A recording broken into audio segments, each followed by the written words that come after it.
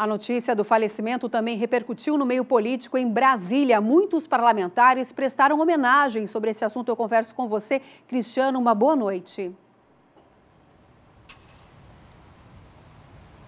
Boa noite, Udiane. Boa noite a todos. Olha, eh, o doutor Mário gostava muito da política, sempre se envolveu e debateu os temas de relevância nacional e fez grandes amigos dentro do cenário político, que a gente comprovou hoje colhendo esses depoimentos eh, de autoridades, tanto locais de Santa Catarina quanto de projeção nacional. Eu conversei agora há pouco por telefone com o ex-presidente da República, José Sarney, ele que era amigo pessoal do Dr. Mário, se disse arrasado com a notícia.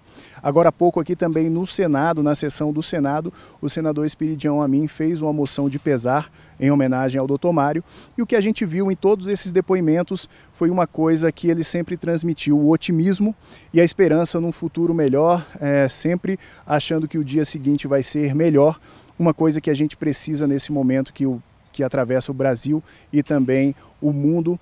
E vamos ver a reportagem como, foi, é, como foram esses depoimentos. O respeito do meio político por Mário Petrelli ficou evidente no dia de hoje. Os ex-presidentes Fernando Henrique Cardoso e José Sarney lamentaram a perda de Dr. Mário, a quem tinham como amigo. Mário Petrelli. Cada vez que vinha a São Paulo, ou muitas vezes que vinha a São Paulo, eu o via. Era um homem prestante, um homem que sempre estava disposto a ajudar, ajudar o Brasil, ajudar as causas. Lamento e mando meus pêsames à família deste amigo que se foi. Durante 50 anos, Mário Petrelli trabalhou pelo Brasil e foi uma das figuras mais representativas do estado de Santa Catarina. Eu tinha por ele uma grande admiração pela sua capacidade, pela sua honestidade, pela sua cultura, pela sua personalidade, pela maneira com que ele se comportava com os amigos. Construiu uma rede extraordinária de admiradores no Brasil.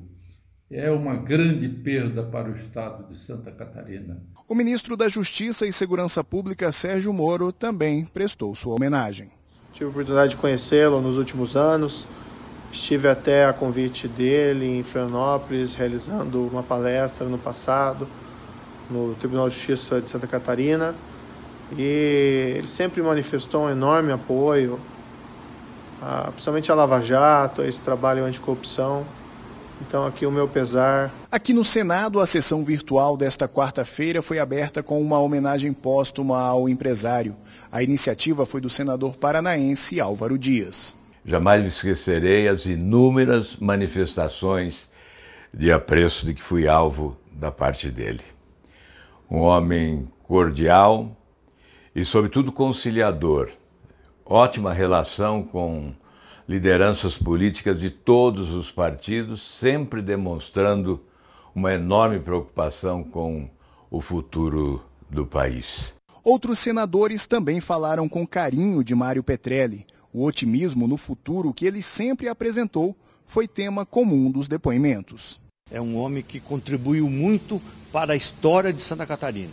Santa Catarina está de luto por perder esse cidadão, esse grande homem público, esse estadista que é, sempre foi o Dr. Mário Petrelli. Um homem entusiasmado, um grande conselheiro. Um grande empreendedor, um homem inteligente, comunicativo, que fez muito pelo Paraná, que fez muito por Santa Catarina, que fez muito pelo Brasil.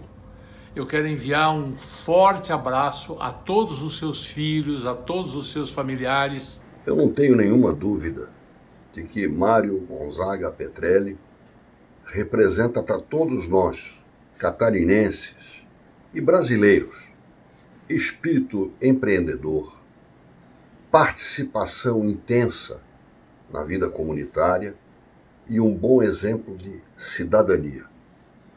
Todos nós estamos sentindo e vamos muito sentir a falta do Mário Petrelli.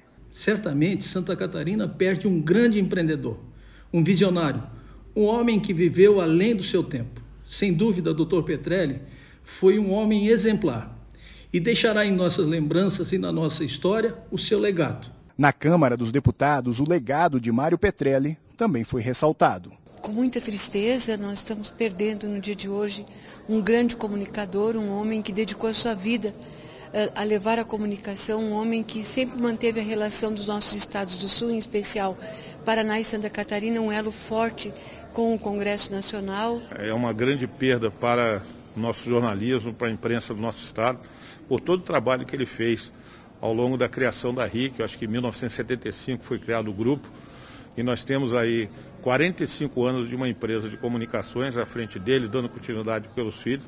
Mário Petrelli foi um homem completo. Vitorioso em tudo o que fez, criou grandes empresas e conquistou grandes amigos.